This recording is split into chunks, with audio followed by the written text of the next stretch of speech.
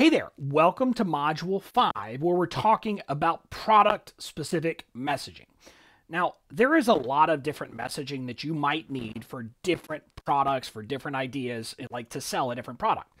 In this module, we're going to talk about some of the high points, some of the different things that you're going to need for a lot of different products when you're selling, whether it be kind of service or, you know, an information product or a coaching program or a membership or any one of these different things that we tend to sell in our space.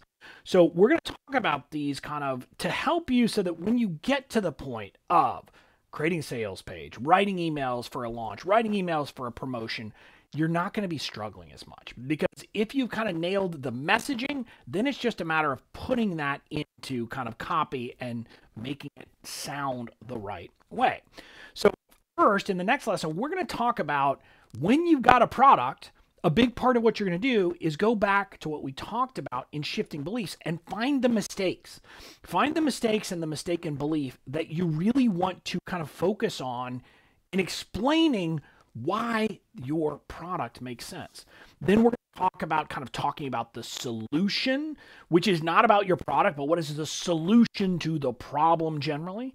We're going to talk about the challenges and identifying and kind of discussing challenges, even with that solution. Why, you know, it's great to say, here's the solution, but why it's not always so easy.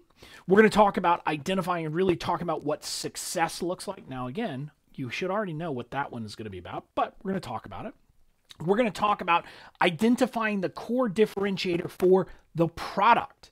Now, we've talked about your core differentiator as a brand, as a person. Now, this is about the product. You have to identify that core differentiator for your product.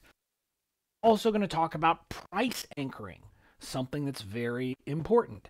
Unlike most people who tell you to just make up random numbers and say it's valued at, I'm going to teach you how to think through a meaningful message, a meaningful way of describing what the price anchor, what kind of the value is of your service without just making crap up. Because making crap up doesn't tend to work so well. So we're talking about that. And finally, we'll talk about inspirational stories, case studies, those things. How do you kind of come up with those? How do you craft those? And how do you do it in an ethical way? We're again not going to get into every last detail of writing them, but we're going to talk about what do you look for? How do you figure out what kind of success stories to look for? What kind case studies to be on the lookout for? So, those are the things we're going to cover here. It's a module that's action packed and information filled, and we're going to be talking very tactically here. And I want you to dive in and understand these things so that once you have these concepts in your mind, when it comes time to write a sales page, to do any of that, it's going to be much easier for you. So go ahead, dive into the next lesson where we're going to talk about identifying the mistake and the mistaken beliefs and tying that in with your particular product. So I'll see you in the next lesson.